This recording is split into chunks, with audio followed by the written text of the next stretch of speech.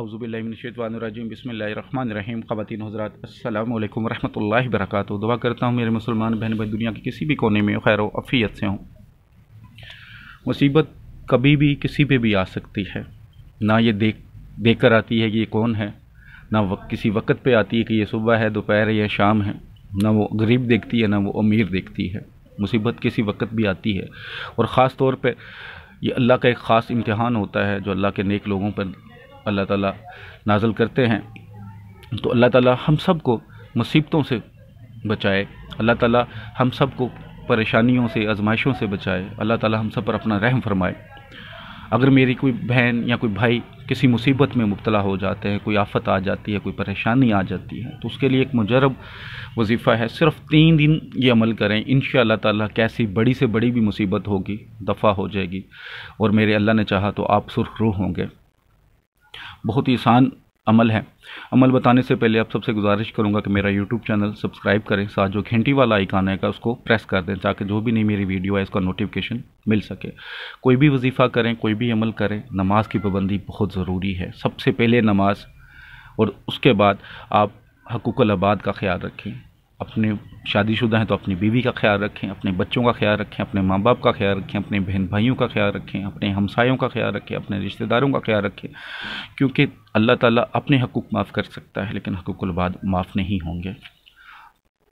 تو ایسا نہیں کہ آپ ایک طرف وظیفہ کریں، دوسری طرف آپ شیطانی کام کریں، تو ان وظیفوں کا کوئی فائدہ نہیں ہوتا۔ پھر آپ چیختے ہیں، چلاتے ہیں۔ جی ہمارے وظائف بھی کام نہیں ہوتے۔ ہم دن میں سارا دن وظائف پڑھتے رہتے ہیں۔ اللہ کو یاد کرتے ہیں۔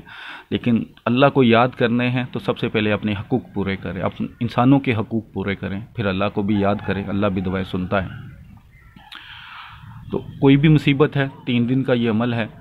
آپ نے کسی بھی دن میں کسی بھی وقت باوضو حالت میں جائے نماز پر بیٹھ کر اللہ تعالیٰ کے دوست فاتی نام ہے یا رعوف یا رحیم ہو یا رعوف یا رحیم ہو اس کو پانچ سو چوالیس مرتبہ five hundred forty four time پڑھنا ہے۔ اول، آخر، گیارہ بار الشیف کے ساتھ۔ دن میں کسی بھی وقت پڑھیں، لیکن ایک ہی مجلس میں پڑھیں۔ جب ایک بار بیٹھ جائیں، تو پھر یکسوئی سے پڑھیں۔ اس دوران کوئی فون، کال، کوئی بات، کوئی اشارہ، بالکل یکسوئی سے پڑھیں۔ خلوت میں پڑھیں، نماز کے فوراً بعد کسی بھی پڑھ سکتے ہیں، مسجد میں پڑھ سکتے ہیں۔